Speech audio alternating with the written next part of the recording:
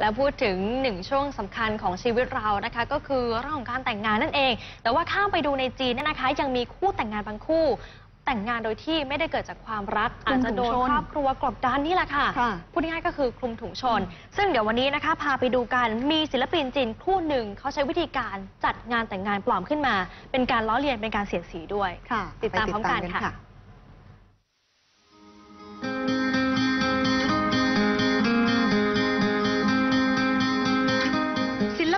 จีนจัดงานแต่งงานจอมปลอม สะท้อนค่านิยมผิดเพี้ยนของการแต่งงานในสังคมจีนยุคปัจจุบัน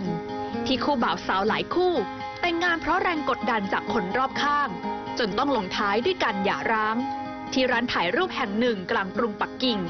คู่หนุ่มสาว นางสาวซุนเซี่ยงจู และนายจี้ฉีกำลังโพสท่าถ่ายรูปคู่ โดยฝ่ายชายมีท่าทีเคอะเขิน เมื่อสอดวงแขนไปอบฝ่ายหญิงตามคำขอของช่างภาพ ทั้งคู่ทำตัวดูเหมือนเป็นคู่สามีภรรยา เหมือนกับอีกหลาย ๆ คู่ในประเทศจีน ที่การแต่งงานแบบนี้ดำรงอยู่เพียงไม่นาน ภาพการแต่งงานของนางสาวซุนและไหนจี้แท้จริงแล้วเป็นส่วนหนึ่งของการแสดงผลงานศิลปะของศิลปินนัทบราเตอร์ ที่นำคนแปลกหน้าสองคนมาแต่งงานกัน จากนั้นก็หย่ากันภายใน 48 ชั่วโมง เพื่อพยายามจุดประเด็นการอภิปราย เรื่องความหมายของการแต่งงานในสังคมจีนสมัยใหม่ ท่ามกลางกระแสการหย่าร้างที่พุ่งสูงขึ้นมาก นัทบราเตอร์กล่าวว่า เขามีเพื่อนหลายคนถูกบังคับให้แต่งงาน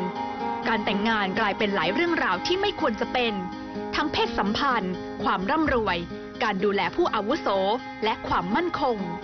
นานมาแล้วที่การตัดสินใจแต่งงานในสังคมจีน เป็นเรื่องของครอบครัว ตามธรรมเนียมพ่อแม่จะอวยพรคู่บ่าวสาวให้มีทายาทและคำอวยพรอื่น ๆ ตามที่ตนต้องการ ด้วยระบบสวัสดิการสังคมที่ไม่สมบูรณ์ ประกอบกับความคาดหวังตามลัทธิของจื้อที่ว่าลูกหลานต้องดูแลผู้เฒ่าผู้แก่ ความมั่งคั่งทางวัตถุจึงมีความสำคัญมากขึ้น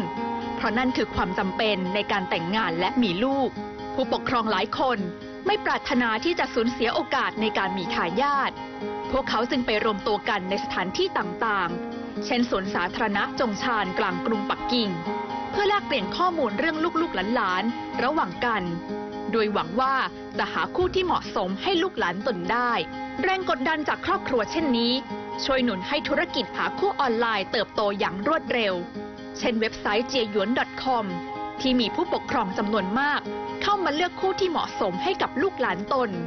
แต่หลายครั้ง ที่ความนิยมของครอบครัว ขัดแย้งกับตัวตนของคนหนุ่มสาวรุ่นใหม่ทำให้อัตราการหย่าร้างในจีนพุ่งสูงขึ้นมาก ตั้งแต่ปี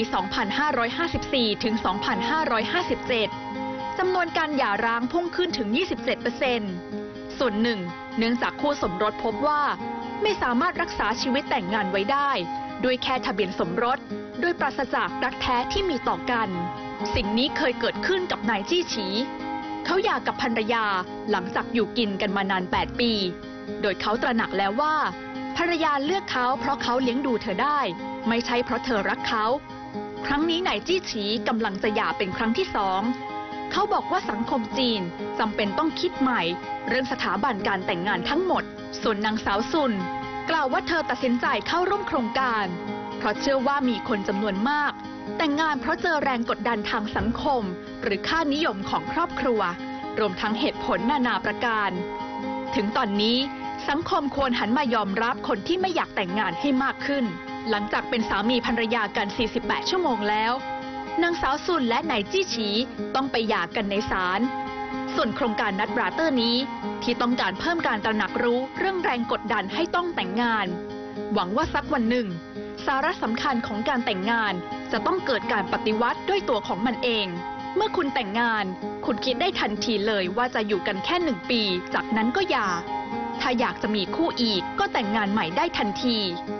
ผมคิดว่าการแต่งงานโดยตัวของมันเองไม่ใช่เรื่องสำคัญ สิ่งสำคัญคือ คุณสามารถใช้ชีวิตได้อย่างอิสระเสรี ศิลปินเจ้าของโครงการกล่าวทิ้งท้าย